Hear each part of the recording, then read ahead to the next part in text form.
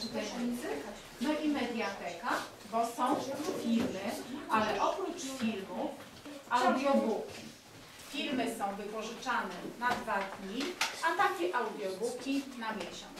Kiedyś były takie zakładane kieszonki. Tutaj była karta książki, karta. Już tych kieszonek u nas nie ma. Teraz są takie karty. Jeszcze nie ma, a chciałby się zapisać?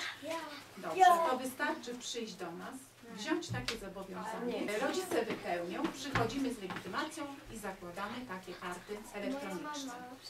Ile książek można w bibliotece wypożyczyć? Pięknie. Jak długo trzymać? Jest tutaj około 20 tysięcy książek w magazynie. Są to y, książki takie najcenniejsze w bibliotece, encyklopedie, e, książki, których mamy tylko jeden egzemplarz i gdyby ktoś wypożyczył, to niestety już więcej nikt nie mógłby skorzystać.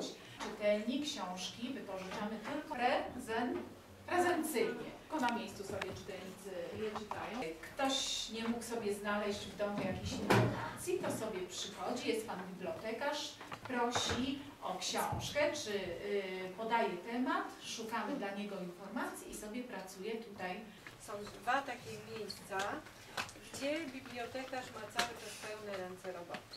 Ja w tej chwili przygotowuję protokół, bo książki, które są zniszczone, muszą z biblioteki być z półek usunięte. W której klasie jesteście? Trzeciej. A uczycie się, jeszcze się nie uczycie biologii, nie uczycie się fizyki, w przyszłości, czy będziecie już w szkole średniej, potrzebowali y, książki popularno-naukowe, więc do nas od, jak skończycie 16 lat, możecie się zapisać.